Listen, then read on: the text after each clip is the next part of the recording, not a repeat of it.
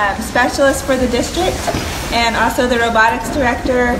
And um, in the summertime, I am the camp invention director. And so I just want to put a plug in if you like to help kids, you want to build stuff with them. Um, about March, right after spring break, I put out applications to help with um, camp invention. So I'm always looking for great high school students to come help us with that.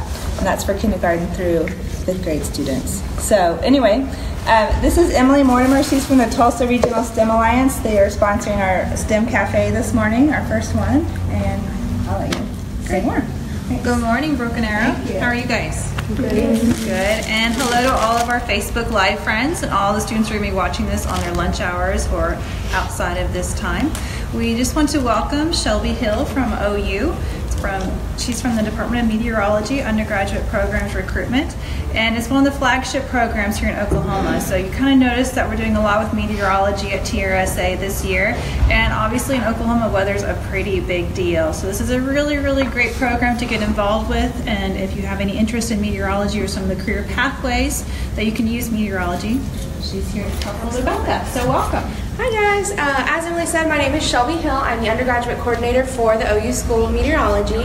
Uh, so everyone here, you're kind of thinking about a STEM career, right? Leaning that direction. Do you know generally what areas you're interested in yet, or still figuring all of that out? Yeah, it's early. I feel that. Um, what age levels do we have? Freshmen, sophomores, seniors, juniors? Juniors. Juniors, sophomores. All right. So uh, you have to excuse me, I'm going to go back and forth a little bit so we can run through this presentation.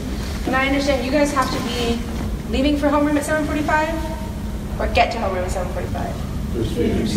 Okay, give me a wave when it's time, getting close to time to go because I don't want to make you late. Okay. All right, so uh, a little bit about me. Uh, I wear several different hats for the School of Meteorology.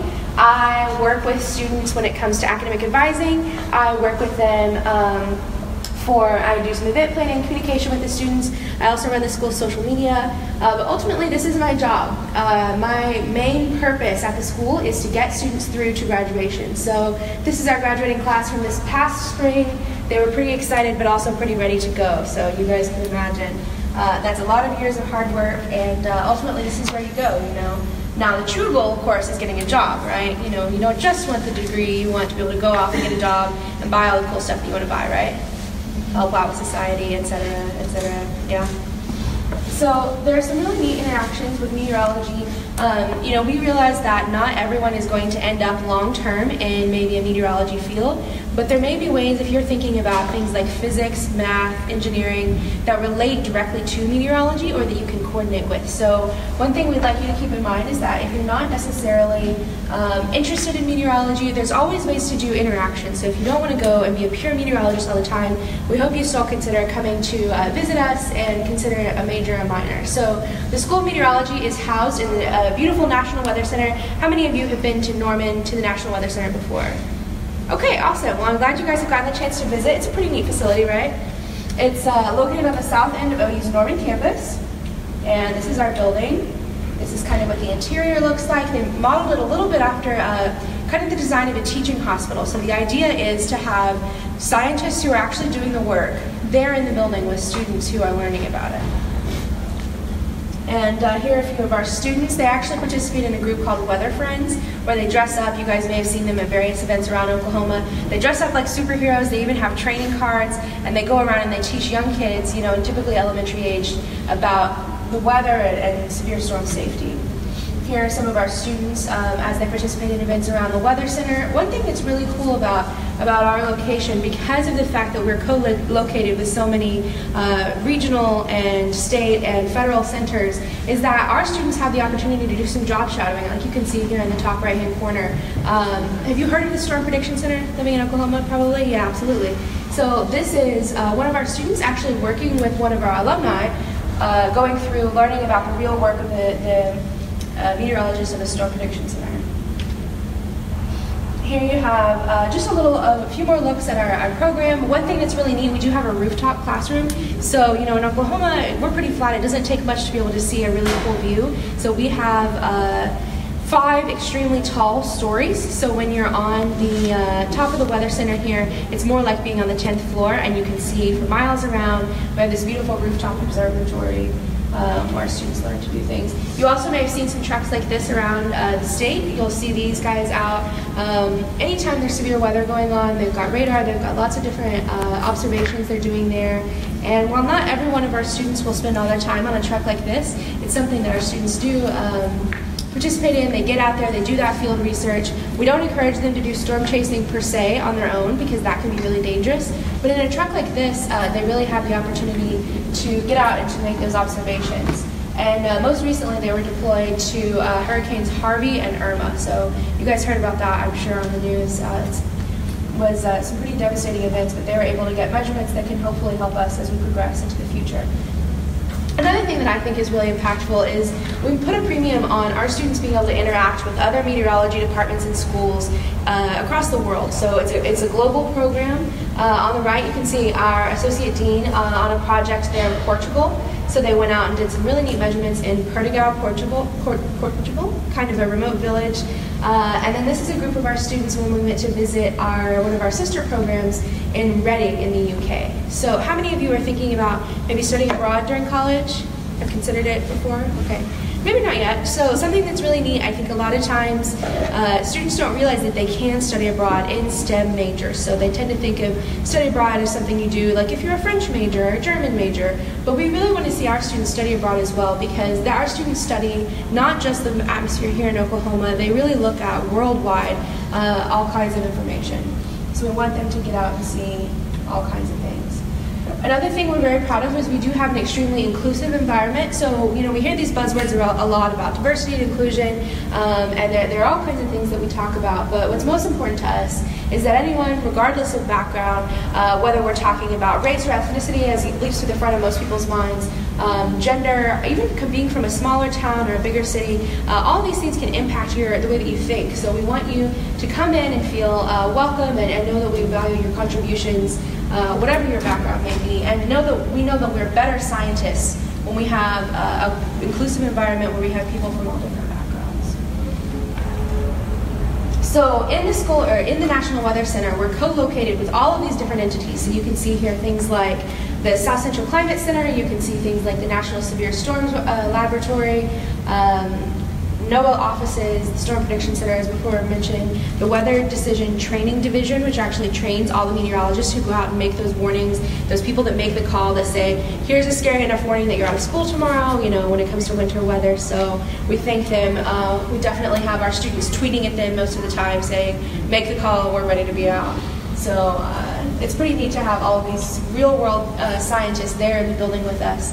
You know, if you're a business major or something like that, I always pick on business, you don't get to have CEOs just walking the hallways with you. That's not something that happens. But here in the National Weather Center, uh, we do have these world famous scientists walking the halls with our students, sometimes sitting down to lunch with them, that kind of thing. So if you're interested more in the engineering side, we want you to know that you can find plenty of interactions between engineering and meteorology. In this particular case, uh, this is one of our students showing off uh, sort of a mini helicopter that is uh, that goes out and does meteorological measurements. So this is un an unmanned aerial vehicle. I learned that we're not supposed to call them drones. I think that has some other kind of context. Uh, but this is something that's really neat, and the student, you know, they work a lot with electrical engineering. So if that is something that interests you, you can go in uh, and work on projects like this. These students work in conjunction with um, also departments like math. So how many of you are taking calculus or pre-calc already? Okay, so you know, you want to just go ahead and jump on uh, Howie Bluestein's equation there? No, not so much. I know I couldn't do this. Uh, before the sun's really all the way up, definitely. I probably couldn't do it anyway because I'm a higher education person and not, not a meteorologist. But this is actually one of our faculty, Dr. Bluestein. You can see the name there. And uh, if you love math, if you are ready to embrace math and spend a lot of time on it, we want to see you go to work on things like this. And uh, believe it or not, there's a time in your life when you'll be able to look at something like this and say, okay, I can, I can kind of see what's going on here. So. We also have a lot of great interactions with computer science. So anybody already thinking about computer science, no, maybe sort of programming. Okay, so that's something uh, we're seeing more and more of our students go ahead and do a double major or a minor in computer science. So as we see uh, data assimilation become more and more important, every day we're able to take on more data and someone has to sort through it and make sense of it and uh, find ways to store it and to use that information for us. So Computer programming uh, is especially particularly lucrative, so if that's something that you're interested in, doing that major and minor can put you over the top of the job uh, market. And uh, because those skills are a little rarer, we want to see you uh, come in and, and gain those skills while you're at OU and then go out and have your choice of jobs in the private sector. We also have a number of interactions with the physics department. So meteorology is essentially a lot like an applied physics degree. So our students are studying the physics of the atmosphere, trying to predict a nonlinear environment. Um, and, and physics is incredibly important. Students start studying thermodynamics right away. And uh, we want them to know that if you're thinking of physics, you can turn your physics and kind of apply it to the atmosphere and make a career out of meteorology. So another interaction we have is with the Radar Innovations Laboratory. They're our next door neighbors. They're um, considered part of Weather Enterprise at OU, so it's still an OU center. This is a really neat place um, that our students work in if they're uh, working in conjunction with electrical engineering or computer science, um, sometimes even civil engineering. So it's an amazing and beautiful facility next door to us. Here's their, um, their lobby. They actually have a tornado simulator, which is pretty neat, um, just to stand there and watch. And they have this beautiful lab where they have uh, something like 70 scientists working together. They have a bay where they work through um, and they create and, and adjust those vehicles like we saw pictures of before. They have a machine shop where they develop their productions. And then they have this, which is an anechoic chamber, and it's essentially um, like the soundproofing that you would see in a music booth if you go to record a, a music album, times I don't even know what. I mean, this is the most silent space you can be in. And what they actually do is they test radar in here as well as antenna, um, and they need no interference. So they say that it's actually kind of eerie to be in there because it's the most silent space you can imagine being in. So some important tips we want you to take away, and I want to leave some time for questions, so we'll just kind of buzz through these. Um, we want you to know in high school, whatever STEM major you're going into, you really want to take all the math and science courses that you can in high school. So um, our director always tells us, you know, he went through a phase where he always asked people, are you good at calculus? Are you good at physics? And you know, that's not necessarily a helpful question because what does that mean? Does that mean you can do it without studying? Does that mean that you were kind of born with a natural aptitude? What's really important is are you willing to embrace it? Are you willing to put in the work necessary to go through those courses? So, a lot of times I think students struggle to find that love of math or that love of physics. Um, it takes a lot of work, right? You know, calculus is not something you can just wake up and know every morning. It takes practice, it takes uh, reiteration all the time. So embrace it, love it, make it your bread and butter. Uh, it'll serve you well wherever you're going. Another thing that's very important is to learn to manage your time wisely. So how many of you uh, play an instrument, play sport, involved in other extracurricular activities? Excellent, that's what we like to see. So uh, even if you work a job, that kind of thing, time management is going to serve you better than anything else really that you can learn in high school. Is that accurate? No? Okay, so you do have to learn a few other things, right? You have to pick up some skills in high school, but one of the most important skills you can pick up is time management. So what I mean by that is, okay, if you play a sport, and you know that you have some homework that's due on Wednesday, and you know that you have activities going on with your sport in on Monday night and on Tuesday night, you know you have to do that homework Sunday, even though it's not due until Wednesday. That's a skill, that kind of thing. Predicting your time, planning on your own, without a parent to prompt you, without uh, a teacher to say, hey, don't remember, or don't forget, that's due on Wednesday, and uh, you need to start it early this weekend. That's what's going to help you to go through and be successful in college. Our most successful students, those students with the double major and the 4.0 and the $25,000 scholarship and the job waiting on them the second they walk out with all the money to buy the coolest car and the nicest clothes, whatever, uh, those are the students that, that manage their time wisely. So if they have two hours of downtime between classes, they're not going to just sit in the corner and be on Snapchat and whatever. They are going to take that time, they're going to take an hour there, and they're going to look over notes, they're going to prepare for their next course and be uh, where they need to be. So another thing we want you to know is that you have to learn to ask for and accept help. So something that our director always likes to remind people is that even Einstein asked for help. So uh, whenever he was working on the theory of relativity, he actually went to a famous mathematician named Max Planck and asked him to check his equations because for all the wonder that he was uh, in his own field, you know, working through those math equations was not the easiest thing for him. So our director always, always tells students, be like Einstein, ask for help when you need it. Uh, and that can be tough, right? Especially if you are really uh, hardworking in high school and never really had to ask for help, when you get to college to actually go to someone and say, hey, walk me through these program uh, these problems. Hey, look over my my quiz and help me know where I went wrong. It can be hard, but you have to find a, kind of set that aside and know that everyone, even the best and the brightest, even Einstein, is going to ask for help. So be willing to do that. OU has wonderful help resources. I'm sure you do here as well. So go to your math tutoring centers, go to your physics centers, uh, retake chemistry exams, whatever you can do. Get people to walk you through because they don't just sit there. They'd much rather talk to you than they would sit in their offices all the time. I'm confident of it. So go and ask those people for help. We also want you to know that AP or IB courses, concurrent enrollment, all of these things are wonderful for a couple of reasons. First of all, uh, most importantly, they're going to teach you what the college atmosphere is like. So if you can get a hold of anything that teaches you what really uh, a college atmosphere is like, that is a great source. Um, they also can save you a little time and money because they're courses you won't have to retake whenever you get to the university.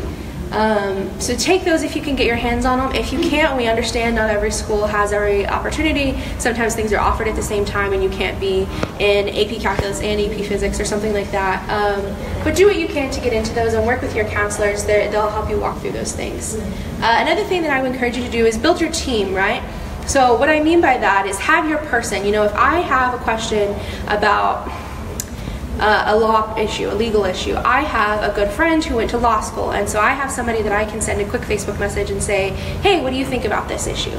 Um, if I have somebody that I need help with uh, my computer at work, I have somebody that I can call down and say, hey, could you come look at this for me? So build those people around you. You know, if you're not the physics expert, make that friend that is, and maybe you're the calculus expert, or maybe you're the IT expert. So build your team, have people that you can go to and say, you know, do you want to walk through these physics physics problem with me tonight?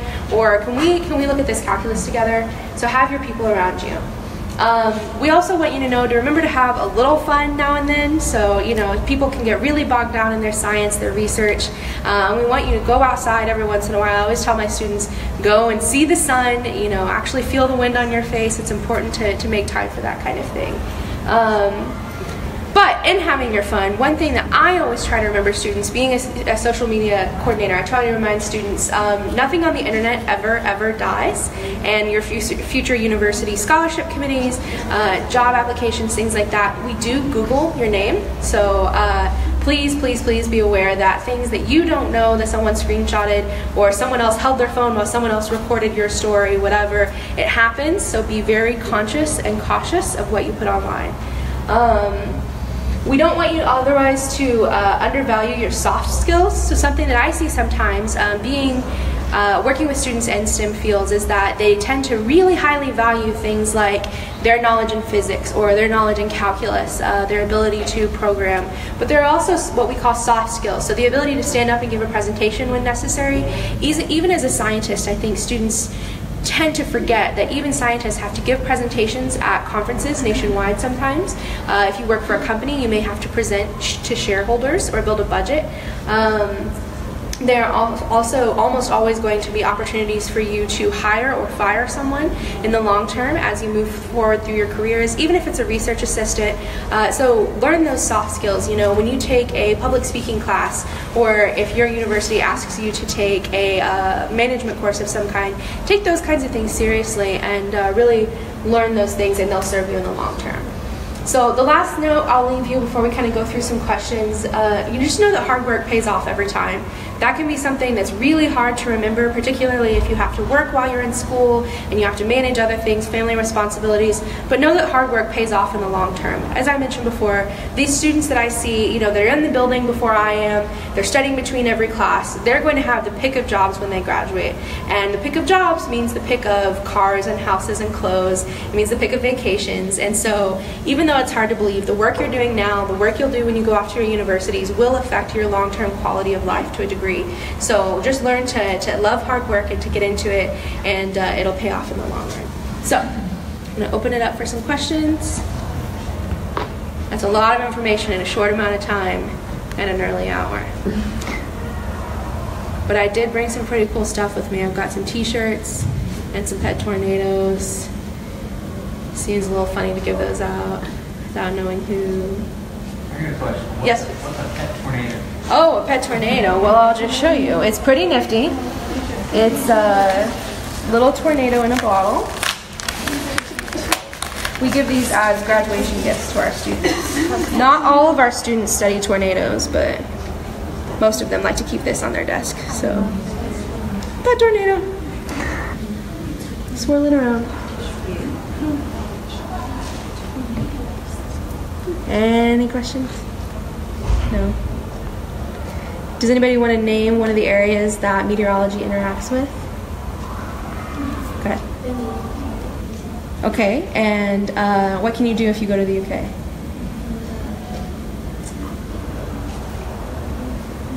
Thinking about study abroad? All right, okay. We'll give you a pet tornado for that. That's a pretty good answer.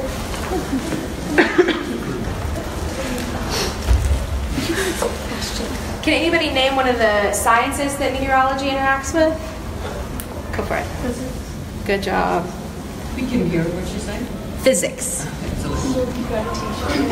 Somebody else name an area? Go ahead. Computer science. Computer science, all right. In what way? Um, well, you probably have to graph a lot of like. Absolutely. hmm We're talking wind patterns, we're talking um, fronts as they move across. You know, what did we have this week? We started really warm and then quickly went to a cold weather area. So, um, are we going to name one more area? I've got pet, one pet tornado left. Okay, go ahead. Engineering. Engineering, all right. So I've got a couple pair of sunglasses. If anybody else wants to go ahead. Math, good job. And you? Astronomy. Astronomy less so. Astrology. Definitely not. Come. We interact with so I didn't get you. I've Raised your hand and said something. Uh, we do inter- interact with astronomy a little. Um, astronomers do need really great forecasts to know when they can get out and do their studies.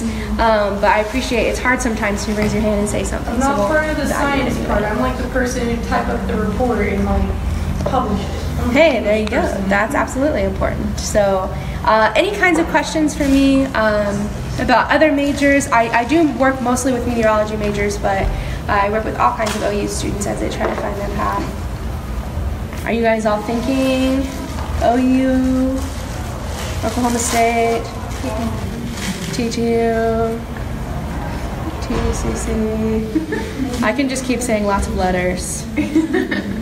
How's the interface between TCC and OU with this program? So our interface with TCC is pretty well developed. Um, we're seeing more and more students come to us as transfers now. I think just as we've seen uh, different struggles in the economy lately, um, and particularly for students who have interactions. I don't know about Broken Arrow, but I know some high schools work with community colleges and junior colleges where students can have kind of a pipeline and start courses early. So We have um, Tulsa Chiefs here, excellent. and so Okay. it's really well. well. Okay, perfect. Back in the olden, I was a meteorologist the National Observatory Laboratory Oh, for awesome. seven years. That's wonderful. And I was in the undergraduate program, but I changed to mathematics. Oh, okay. And that's why I learned my love of Chi-Chi when I was helping my classmates. I would do the math part, and they would do the physics part, and together we There would work go. it out. But the point That's your team. that You got to have your people. You've got to have, they didn't have that back in GJC. Oh. Those of us who old enough know what that means. And so, We have a really well developed exchange now, I feel. Um, so there are sometimes classes that don't equate directly. And so what we ask students is if you do plan to go through and do work locally before you go, uh, and that I'm sure is true for Oklahoma State as well as it's true for us. Um, if you're planning on doing some, some coursework at a community college or a junior college before moving on to a university, work with a university level advisor. I work with students all the time who come to me and they say, hey, I want to come to OU, but I want to come to OU in 2020. So can you sit down and work with me on the classes that equate? And I'm always happy to do that. We have a huge database of classes that have already been equated by other people. Other people have turned in the syllabus for that course. OU has done the research and proven that it actually fits directly onto one of our requirements, and we can make everything move smoothly. So uh, different programs have different requirements, absolutely. Uh, But advisors are willing to work with you. OU has a transfer department that will work with you. And then uh, if you need to stay at home or want to stay at home uh, for your first year or two and then come to us later, we're happy to work with you on that. Any other questions? College-ish questions? Norman questions? do they still have the work study program? They do, absolutely. So we have um, really what they're working towards now is a room and board program. So freshmen are required to live on campus, um, and so something that you can do is you can work for the university, um, sometimes in the in the library or uh, in a computer lab, sometimes working in the cafeteria, things like that. And uh, that will actually pay off your OU, um, your dorm bill, your meal card, that kind of thing.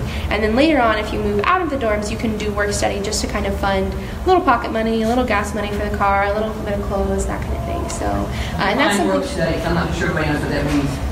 Sure. So work study in particular are those jobs that are somewhat federally funded, and it's where you're working for the university and then being paid by the university. So that means that uh, they're going to put your education first because you're a student first and an employee second. So usually they tap your hours at 20 hours a week, and they will either not let you work during finals week. Excuse my phone. Um, they'll either not let you work during finals week, or they will um, rearrange your work schedule during finals week. So it's a really wonderful way to, to have a job without, you know, because if you go wait tables somewhere or work at Walmart, something like that, that's great and you make, make good money doing that. But it's really hard to get them to respect your hours sometimes. When you come in and you say, listen, I've got a review for my physics 2 test tomorrow, I need to get out of this shift they may not care so much. But if you work for the university, then they'll be able to make those adjustments for you. And that's something that's really neat about the Weather Center as well. I want to mention um, because we do have all of these centers, the, the federally funded centers, the state funded centers, uh, they hire our students. And our faculty sometimes hire our students as research assistants. So that's true in meteorology. I know that's true in other sciences at OU. So be prepared uh, to do some research. Work in the area that you're interested in if you can at all. It's a great resume builder. It helps you when you go to apply for jobs after college. And if nothing else, uh, working for someone who sees you as a student first and an employee second is incredibly important. That's exactly what I did. It was a a work very- study program with the National Severe Storms Lab and CIMMS and all that together. Excellent. And I started out at 18, working with Dr. Peter Ray, the world's best operator meteorologist, back in the olden days, and work my way on up. So it Absolutely. was a wonderful opportunity. and I That's the highly way to do suggest it. you all do that if you, you know, were interested in this field. Any other questions? Does anybody want to hear about my, my drive last night into Tulsa? Can talk about that. Yeah, okay. There's construction on the turnpike. It's a little crazy. Um, Do you guys want to just like tell me where I should eat lunch before I drive back to Norman? Sushi house. Okay. Our Cane's. The sushi house is so good. Cane's you can get anywhere. Sushi house. If you don't like sushi, they even have like other kind of food, like popcorn chicken All right. and fried shrimp. I So work there. If you go there, tell them that uh, Lauren, Lauren recommended you. All right, I so got maybe it. Get extra tips tonight. So that's something that I'll tell you guys um, is kind of funny. You know, meteorologists do have their primary focus on the atmospheric sciences, but they're interested in other things. So I have several students that are major foodies. They like to come in and talk to me about going to all these new ramen places that are popping up, or they like to tell me about uh, their double major with music. Um, there are lots of different areas that interact with the sciences directly, and sometimes just areas that you have an interest in. So if you have a secondary area of interest, if you play the violin but you want to be a physics major or something like that, um, we want you to keep that interest and to know that we'll help you develop that to the best of our ability. Um, all of our faculty members have secondary areas of interest. They uh, grow gardens, they play golf, they coach soccer teams. Uh, so we want you to maintain that. It really kind of helps you keep that mental balance as you go forward through your careers. Well, um, I want to thank you for coming today. Let's give Michelle a hand.